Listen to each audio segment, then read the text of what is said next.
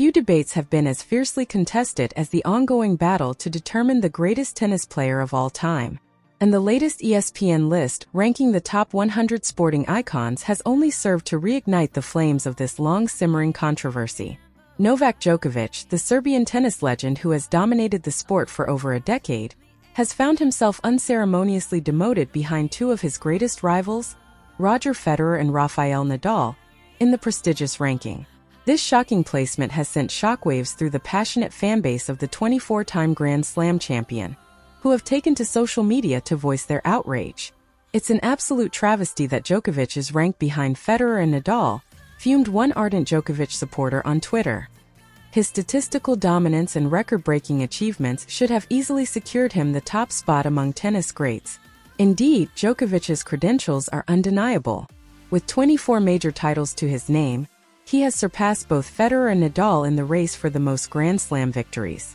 Moreover, his record-breaking 373 weeks spent as the world's number one player is a testament to his unparalleled consistency and longevity at the pinnacle of the sport. Yet, despite these impressive feats, the ESPN list has placed Federer at number 6, while Djokovic languishes at number 11, with Nadal sandwiched in between at number 12. This decision has left many fans scratching their heads, questioning the criteria used to determine the rankings. Djokovic has dominated his era in a way that Federer and Nadal never did, argued another impassioned supporter. His impact on the game, both on and off the court, is unmatched. To rank him behind his rivals is a gross injustice. The debate over who should be crowned the greatest of all time has long been a source of contention among tennis enthusiasts, with each player's supporters vehemently defending their respective idols.